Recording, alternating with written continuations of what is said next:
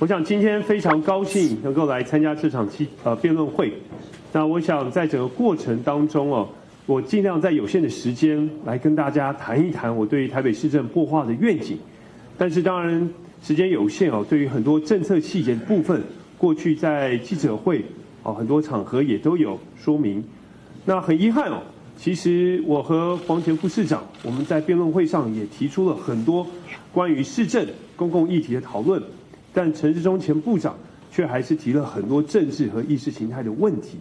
那我相信市民期待的是希望能够回归到公共议题的讨论，让整个选举回归到这样的主轴，我想才符合市民的期待。给自己打几分？这次的辩论会哦，我和我的团队，我们都尽力的哦做最好的准备，我们也把握呃仅有的时间哦做充分的功课，所以我想至于评价。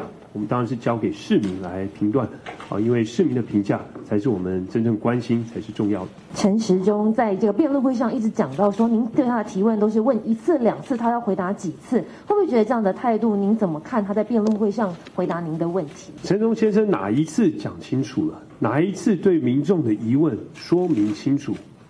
所以其实我想，如果今天他对于高端疫苗 EUA 的审查，整个采购的过程相关的价格，能够很清楚的摊在阳光下告诉国人，我想民众也不会想要再问一次、问第二次、问第三次。